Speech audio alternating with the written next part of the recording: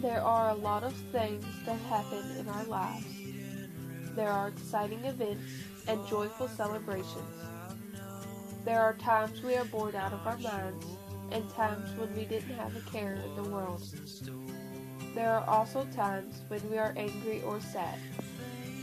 Through all of this, we manage to make time for the important parts of our lives. In this lecture, I'm going to share the important aspects of my life.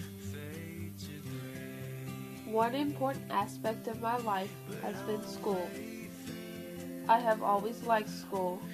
I enjoyed learning, and school was a way for me to fulfill my thirst for knowledge. School also helped satisfy my love of reading. I was always excited to bring home books to read with my mom or to read to my little sister or brother. Going to school also allowed me to develop friendships Friends have helped me grow as a person.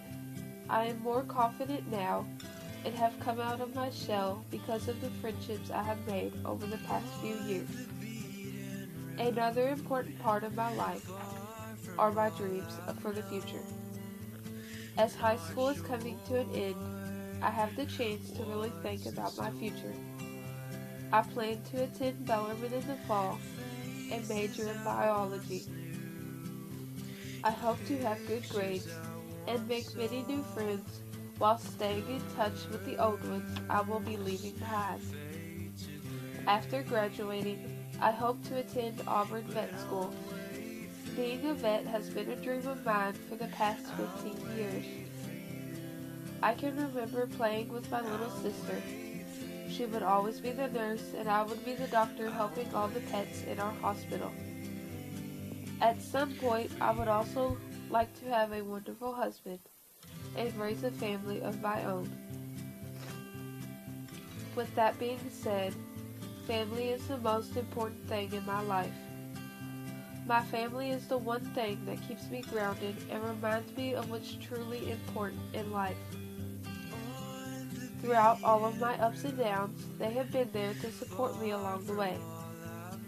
When I have hard decisions to make, they are always there giving support and advice to help me make a good decision.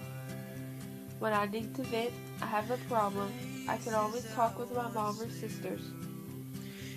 And when I'm feeling sad or upset, my brother and dad are always there to put a smile back on my face. When I'm with my family, I feel free to act a fool and just be goofy. And I know they will be right there with me, acting just as goofy and silly as me. I didn't really realize how important family was to me until these past couple of years. My grandpa became very ill, and he sadly passed away in March of this year. But through all of this, our ups and downs, and grieving over my grandfather, we stuck together as a family. We were remembering the good times we had together and there was never a dull moment. We will cherish the times that we had and always remember the memories that we made. Everyone in their life has priorities at some point. For some of you, it may be sports or your hobbies or maybe even school.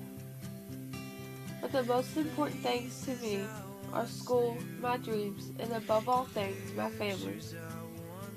Take the time out of your life to think of what's really important to you. Think of the things that you'd miss most if they were gone tomorrow.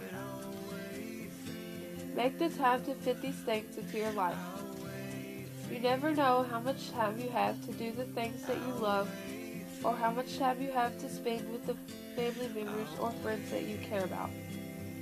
Enjoy every moment that you have and make every second count. Cherish the memories that you have and the future that you look forward to.